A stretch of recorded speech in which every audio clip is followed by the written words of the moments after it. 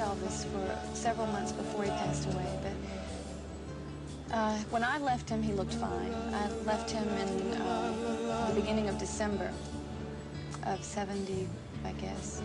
And then he died eight months later, and I didn't see him for those eight months. We spoke on the phone, but I didn't see him. And he really had deteriorated a lot. Uh, here's a man who has everything in the world going for him. You know, he was the most gorgeous man, I think, physically, who ever lived. Uh, spiritually, he was sound, he was good, he was solid.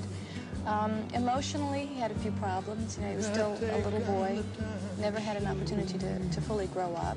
He had people doing things for him so much.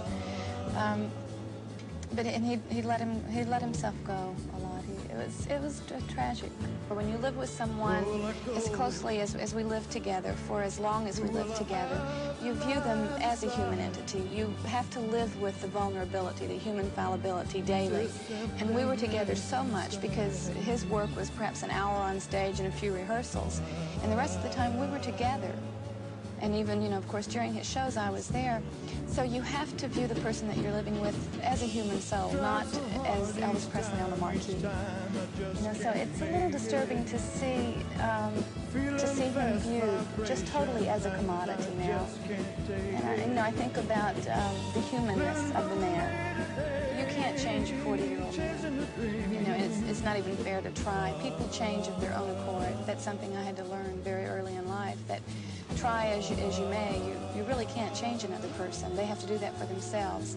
And all you can do is try to be a stabilizing force or some sort of positive influence on their life. And I think that I was in Elvis's life. I, I certainly tried as best I could to curb his improper eating habits and to watch the sleeping medication that he took, sometimes too much of.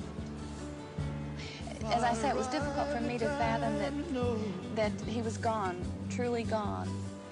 And I, I, I reflect back to his lying in the coffin, and I saw him, and I know he's gone. Um, but I, I guess it's difficult for people who didn't see him in a state of death uh, to, to fully realize that he is dead. They want to believe that he's off in the Bahamas somewhere, and I wish he were. I believe that Elvis lives on. I mean, certainly he lives on even in this world, in our memories.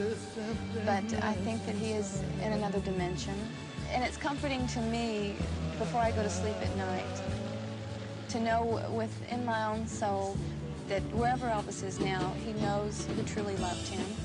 He knows who had high regard, those of us who have high regard for him as a human being, as a human entity, not as a commodity.